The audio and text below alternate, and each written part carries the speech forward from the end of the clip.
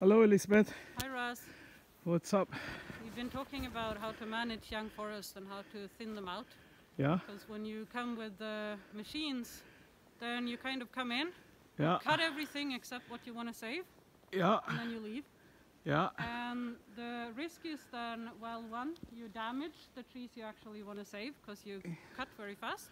Yeah, Two, the stuff you've cut down, if it's a lot of young birch, yeah, next year they're going to do root shoots, so they're going to start growing a lot, you Yeah. know, and compete with the, the, the spruce you want to save. yeah, Whereas if you would go more by hand, you would maybe just break the, the birch, and then it will really struggle, but Yeah. it won't, you know, it, it will Uh-huh. struggle and die, yeah. rather than get rejuvenated and Right. try to grow Right.